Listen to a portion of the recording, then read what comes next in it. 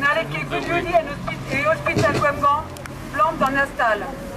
Kulen bronze à Rio Marskit Franck à Splant, à Bers Ministeriz à Rierit, à Rofé, à Rofé Dion, un désiat d'Ad Krégig en a Zervij Gugliudi et Villemont Noirdu, Hormone Andro stable. Hormad, Poutine dans l'eau et en hôpital public.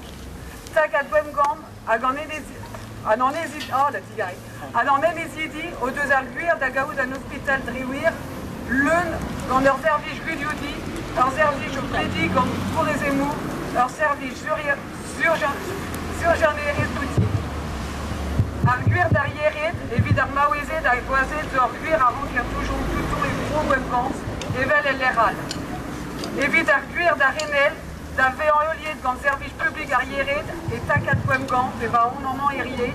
Évite Astalan, énorme de Herwesus, agence Rambo arriéré,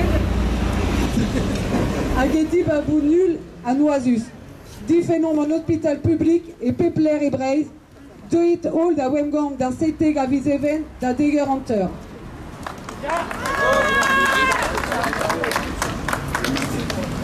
Français, accès à la santé pour toutes et tous en Bretagne. Aujourd'hui, les naissances sont suspendues à l'hôpital de Guingamp. Nous exigeons un engagement clair et écrit du ministre de la Santé sur une date de reprise de cette activité et sa pérennisation. L'hôpital public est notre bien commun. Le territoire de Guingamp et ses habitants méritent un, un, hôpital de plein exercice avec une maternité, des urgences, un service de chirurgie conventionnelle. L'égalité d'accès aux soins pour les femmes et les hommes est un droit au pays de Guingamp comme ailleurs.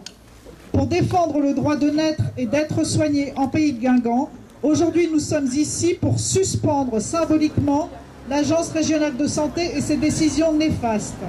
Défendons l'hôpital public partout en Bretagne. Rendez-vous le 17 juin à 10h30 à Guingamp.